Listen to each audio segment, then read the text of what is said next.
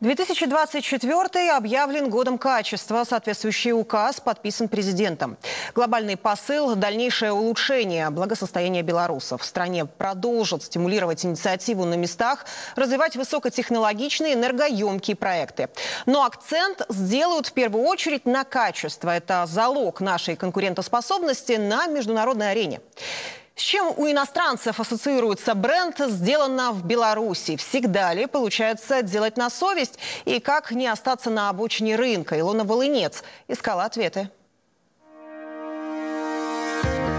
Более 90 лет историю северного шелка нитка за ниткой сплетают на Аршанском льнокомбинате. Текстильный гигант – самый крупный в Восточной Европе производитель тканей. И сегодня в авангарде модных тенденций. Не исчез с текстильной карты мира, потому что по поручению главы государства предприятие масштабно обновили.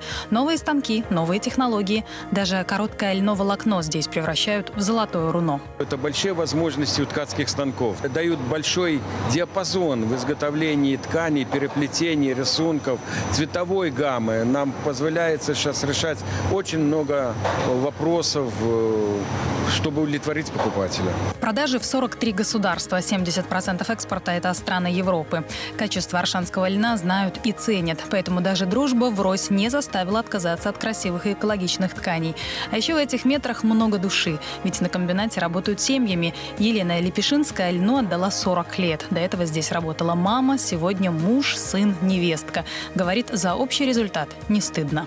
Я прихожу на работу, мне должно все крутиться, вертеться, чтобы аккуратно было, чтобы брака не было. Я стараюсь, и все наши люди стараются. Отечественный outfit и не обязательно льняной с удовольствием примеряют и за несколько тысяч километров. К примеру, министр внешнеэкономических связей Башкортостана уже не представляет свой гардероб без белорусских костюмов. Мы с удовольствием носим костюмы Коминтерн, потому что они очень красивые, прежде всего, что важно женщине любой. Во-вторых, у них приемлемая цена и, э, конечно, очень хорошее качество. Качество – это наш бренд. Вкусно, натурально, полезно. И это не просто красивые слова на этикетке. Содержимое соответствует. Может, поэтому к белорусскому фермеру выстраиваются очереди. Обязательно сало, сало, грудинка свиная, соленая, ну вообще обалденная, просто тает. Мы стараемся позиционировать э, то, что это строгие советские ГОСТы, которых уже в Российской Федерации нет.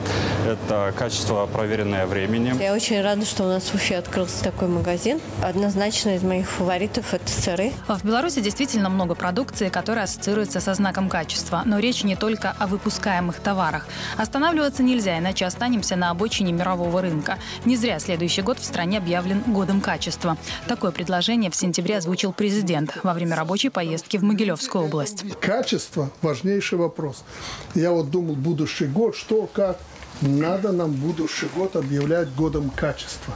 Все у нас хорошо. И объемы делаем, и спрос на Беларусь колоссальный. Но у нас еще есть проблемы с качеством. Поэтому качество и еще раз качество. И за это отвечать надо. Наши основные торговые партнеры – Россия, страны ЕАЭС и СНГ. Расширяем свое присутствие на рынках Азии, Африки, Америки и Океании. В планах стать еще ближе к странам дальней дуги. А чтобы конкурировать, нужно быть на шаг впереди. Кто бы мог подумать, что, к примеру, в далекой Карелии белорусский Харверстер заменит финскую технику. Лишь на первый взгляд кажется, что уход западных брендов расчистил путь. Остановиться в развитии сегодня значит потерять рынок уже завтра. Здесь очень важно, где мы будем в этот момент. То есть какими мы будем. Наша задача максимально повысить а качество своего продукта, его эффективность, качество сервисной службы. И тогда мы не будем бояться э, возвращения конкурентов. Беларусь сохранила лучшие традиции стандартизации. В стране почти две с половиной тысячи аккредитованных органов по оценке соответствия. База госстандартов насчитывает свыше 30 тысяч документов. Согласитесь, качество – понятие относительное, и не всегда его можно измерить. Но всегда чувствуешь, когда что-то сделано на совесть. Может, к этому всем нам и стоит стремиться. Илона Волынец, Ольга Масловская, Дмитрий Чумак, Михаил Христофоров, АТН.